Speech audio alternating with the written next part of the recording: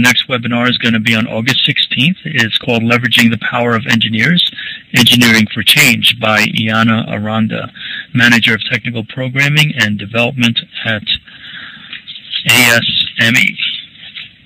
Again, there's going to be other sessions on the 14th of September as well as the 20th of October. Please continue to visit our website to get updates on these. If you're not, if you're not already an IEEE member, please join. Um, here you can share your knowledge and join the community and basically, you know, network and there's plenty of opportunities for professional development. So it's a great organization. Please, if you're not already joined, go ahead and do so. Okay. So without further delay, I'd like to introduce Professor Eugene Cloete of Stellenbosch University in South Africa. His bio is available on our humanitarian website, but let me just highlight a few things. Professor Cloete joined Stellenbosch University as Dean of the Faculty of Science in 2009 from the University of Pretoria, where he served as Head of Microbiology and Plant Pathology. Faculty of Natural and Agricultural Sciences, and chairperson of the School of Biological Sciences. He is a senior fellow of the Water Institute of South Africa, a fellow of the IWA, and a fellow of the American Academy of Microbiology. In 2010, he was inducted as the only African representative in the new program enjoyment of the International Water Association, IWA. Professor Cloete, please begin at your convenience.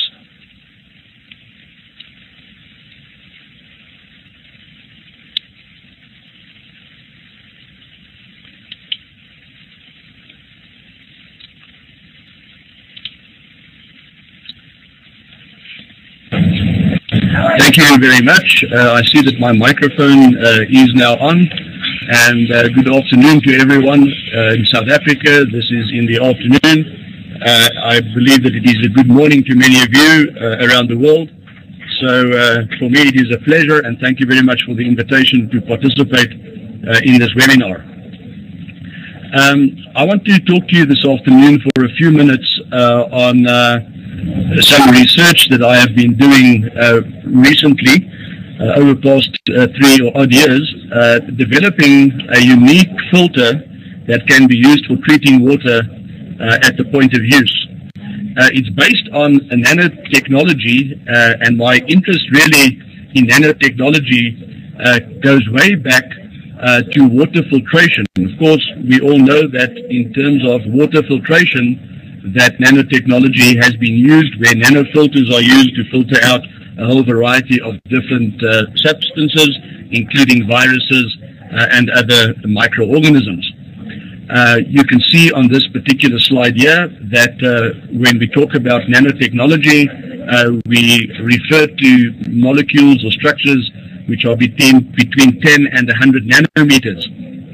You can also see from the slide that with conventional filtration, one will be able to remove protozoa, uh, microbial cells at the micrometer level. You can remove with microfiltration. And in terms of ultrafiltration, that is at the scale that we are talking about now. And the filters that we manufacture using these nanofibers, which I will elaborate on a little bit later on, uh, the pore size that we generate there is on average between 12 and 20 nanometers. But my interest really uh, in nanotechnology stems from surface modification. Uh, some time ago, um, I noticed uh, while walking in a botanical garden that some of the leaves of these big water lilies, and you can see that on the slide in front of you, the right-hand top slide, uh, that the leaves do not actually get wet, so that when you submerge them uh, into water and they come out, the water runs off of them. And this fascinated me.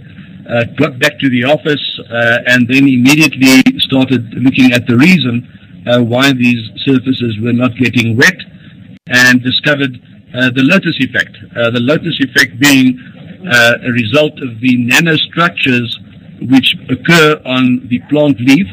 And you can see those on the left-hand side, the left-hand top side of your slide. And these structures then prevent the water tension from breaking, and then the water droplet is retained in its original state and just runs off the surface. Now, having done a lot of research in water uh, in my career, I was very interested in designing surfaces that you could move water through, but that would essentially then not get wet. Uh, so I immediately started uh, with a project proposal for which I got some funding to basically design surfaces, super hydrophobic surfaces that would not get wet. Um, but as part of that research, I was also looking at anti-fouling properties uh, of surfaces and specifically membranes that are used in reverse osmosis. And you can see a diagram uh, of such a membrane um, and uh, on this particular slide, the biofouling is indicated there by the green uh, surrounding the red bacteria and uh, these then clog up filters, making it very difficult uh, to clean these filters, and you also reduce the lifetime of the filter. So we started off originally by uh, manufacturing uh, enzymes or selecting enzymes that we could manufacture these very small spherezymes with, which we could then immobilize on the membrane. And you see them there in the membrane, these little uh, red dots uh, nicely covering the membrane. And uh, as then the water goes through and microorganisms, as they start uh, producing the slime or the biofouling, the enzymes then break down uh, the slime. It was about at that time that I changed universities and I came to the University of Stellenbosch uh, and I discovered a technique there which was called nanospinning. Now, and I was at this time already interested in nanobiocides. Now, what nanobiocides entail, there are a whole number of these. Uh, you could use, uh, for instance, silver uh, nitrate, and if you expose that uh, in a matrix to UV light, you turn them into nanoparticles. And I was now interested in using some of the nanobiocides, like silver nitrate, for instance, uh, but also furanones and uh, copper, zinc, uh, and a whole number of other uh, potential uh, biocides interested in using those in this nanospinning technique. And what nanospinning or electrospinning involves is purely where you take a, a, gel, which is normally a polymer. These polymers can be very soluble in water or they can be insoluble in water depending on the polymer. And to functionalize the polymer, now, in front of you there you have a diagram of the process that uh, we use.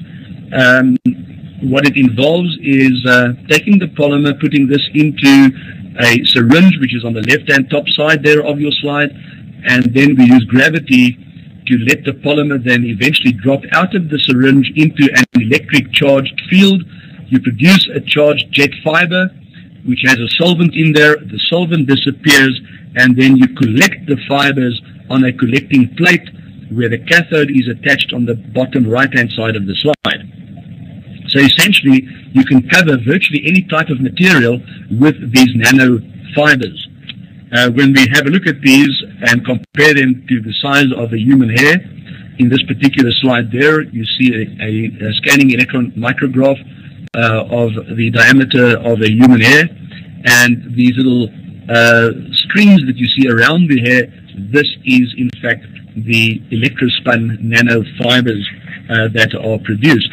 Now what we then do is we incorporate into these nanofibers either enzymes or, uh, and that was the original idea, or you could incorporate into them biocides which would then hopefully kill bacteria upon uh, the uh, uh, attachment uh, or upon contact.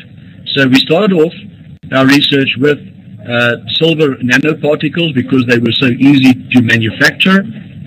You mix them with a polymer, you spin these fibers, and you end up with a network of fibers like you see over there. And then, uh, of course, as the water moves through these fibers, you retain the bacteria on the fiber, and uh, they are also then killed uh, as they pass through the fiber. So we did some analyses where we spin these fibers onto a filter. As you can see there, these are millipore filters. And at time zero, um, that's the top left-hand square there, you see the bright blue, the orange, and the other colors there. That represents bacteria which are alive. In this particular case, it is Pseudomonas aeruginosa. The bottom slide from that is Escherichia coli. And at time zero, you can see that these bacteria are well and alive. On the right-hand side of both of those, you can actually see uh, that after 10 minutes, uh, none of these bacteria are alive anymore. Now, while we were doing these tests, basically to develop fibers that would not foul, with the ultimate goal of making membranes that would not foul, um, it struck me that we could potentially clean here smaller volumes of water. And if you look at the size of these millipore filters, they are about the size of a tea bag. And immediately it came to my mind that potentially we could spin these fibers uh, onto a tea bag material, uh, make a tea bag then, and instead of tea, fill the tea bag with activated carbon, which will not only give it the shape, which makes it easier to use, and I'll show you some slides in a second, but that uh, the activated carbon would have the added advantage of removing some chemicals uh, that could potentially be dangerous. So that's exactly what we did. Uh, we took some tea bag material, emptied this, uh, spun the nanofibers onto the tea bag material, uh, put in the activated carbon, and started doing some evaluations. The slide you see now there, the left-hand top slide, shows you a plastic bottle with a cartridge that is inserted in the um, neck of the bottle and then what we do is we incorporate into that cartridge this little tea bag, so-called tea bag filter containing the nanofibers, which contain biocides, and then the activated carbon. And as the water then flows through this, you first of all would then take water out of a river that is polluted for argument's sake, and as the water moves through this filter, you actually remove chemical contaminants, which might potentially be dangerous, but you remove all the bacteria uh, in there and they then get killed uh, by these nanofibers. The right-hand bottom side there is just another design. Here the, the, the, the uh, little tea bag is just put right into the neck of the bottle. Uh, you then uh, secure it there with a little plug. You screw this onto a specially designed bottle that you fill up with your water and then the water then there is ready uh, to consume and it meets potable water standards. So this is more or less where we are at at the moment. Uh, we are busy um, upscaling the technology. Uh, we are commercializing it. The technology has been licensed to a South African company. They are at the moment in uh, Czechoslovakia with a company called Elmarco, and you see there a slide of the company. And what you there see is typically a machine that will be used to spin these nanofibers uh, onto the tea bag um, material. So as we spin these onto the tea bag material, we can now, instead of doing this in the laboratory, we can manufacture tea bags at uh, the rate of thousands of these per hour uh, at a hopefully a very low uh, cost to the end user. We do not have exact costs at the moment because there are many issues, as you would know, that are involved in costing such a product, uh, so we cannot give an accurate cost but it would be comparable with anything else at the moment that is on the market. This, by the way, is the first filter of its kind uh, in the world that we know of that will not only take the bacteria out of the water, but also kill the bacteria. Uh, we were very honored and, and also uh, astonished by the fact that uh, in the uh, December edition, or 2010 uh, December edition of Scientific American, uh, this particular invention was cited as one of 10 world-changing ideas. Um, as you can see there, uh, it was quite a surprise to me when I picked up this at the airport uh, and I looked at this, I thought to myself, wow, there are other people uh, doing the same thing. And when I paged to the article, I was very, very happily surprised or pleasantly surprised that they were actually referring to the technology that uh, we had been uh, developing. So currently we are looking at a whole number of different models to distribute these filters to people in rural areas. Uh, in Africa alone, there are about 300 million people that do not have access to safe water. Globally, that figure is about 1.2 billion. Um, and the idea would be that uh, through foundations, aid foundations, uh, private organizations, philanthropists, and so on, that these filters would be distributed then uh, to the people uh, that need them most. Of course, there is also use for this type of filter for the upper end of the market, where people travel to areas in the world where water is not potable, where they could take these little filters with them, uh, or whether they go camping, or whether they go hiking, or, or whatever outdoor activity where the water is suspect, they would be able to use these filters uh, to clean the water. So, in essence, uh, and in brief, um, this is what we developed. Uh, to date, uh, further developments that we are busy with at the moment are, of course, upscaling uh, to get to the commercial phase, uh, but also looking at other methods to functionalize these nanofibers for a variety uh, of other applications. And this more or less brings me uh, to the end of my short presentation. And if you post your questions, I would be happy to answer some of these questions Uh, and I'll try and group them. So thank you very much uh, for your attention.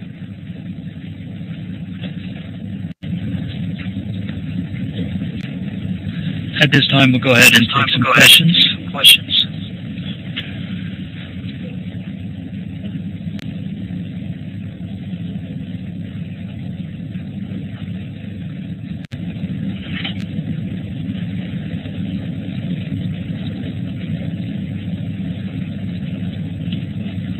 Yeah, uh, thanks for the question there. Uh, if I can go ahead and answer that, uh, the question about the technology uh, going uh, perhaps to India.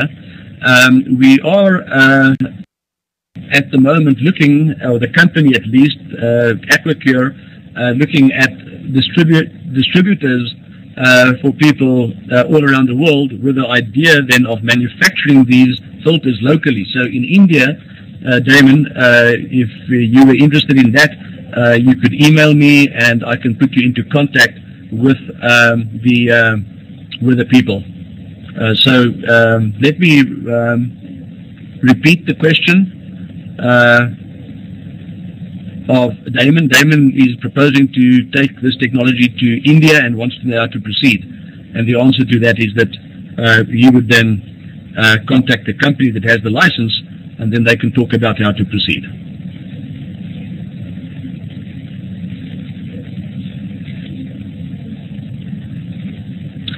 I have another question here uh, by Vexco, and the question is, what is the approximate price of one uh, water filter? Um, it is very difficult to say at the moment. Uh, the raw material cost would be in the vicinity of approximately five American cents. Uh, so you would be able to clean about two liters of water uh, with such a, a, filter.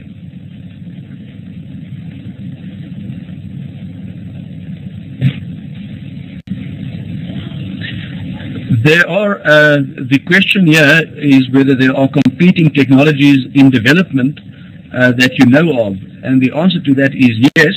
And I am very happy about this because the need in the world is so big that I would uh, be very pleased if someone comes up with technology better than ours, cheaper than ours, so that we can actually address this humanitarian crisis uh, that we are facing at the moment in the world. There are for sure uh, similar technologies that are being developed, none of them though based on nanofibers that are electrospun uh, and none of them that contain biocides. Most of the filters on the market at the moment will take the bacteria, it will um, filter them out that won't kill the microorganisms.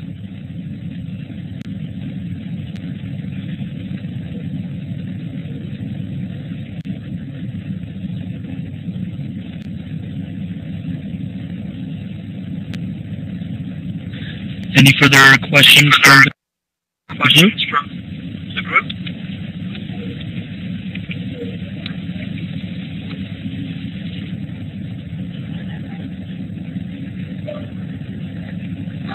Just as a matter of interest, perhaps, uh, oh, okay, there's a question by Zan Smith. that is, how much water will one tea bag process? Uh, you can process up to two to three liters of water, depending on the uh, how many bacteria you have in the water, because uh, you will eventually, as you take the bacteria out of the water, you clog the filter.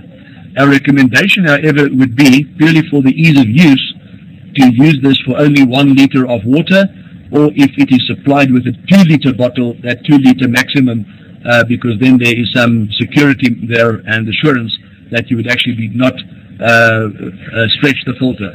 But it is so that the filter will just stop working as soon as it gets clogged with too many microorganisms.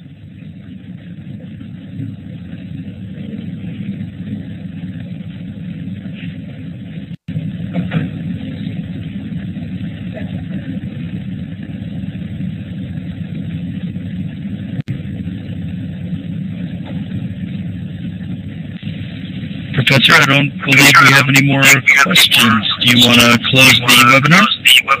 Yeah, thank you very much again, uh, Alex, for the invitation, and thank you for all the participants uh, for listening and for uh, asking questions. These are these are good questions, uh, very relevant questions, and uh, you could go to uh, Google and you could just search a teabag water filter, and you will find a huge amount of information on that, if you go to Google and search for images, you would also find a large number of images there.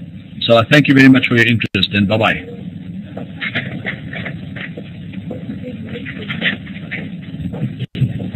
Thank you, Professor Claude. And just a reminder to everyone that if you want to print your professional development hours, please go to our website at humanitarian.ieee-elearning.org. Thank you, everyone, and have a great day and afternoon. Goodbye. Goodbye. Bye-bye.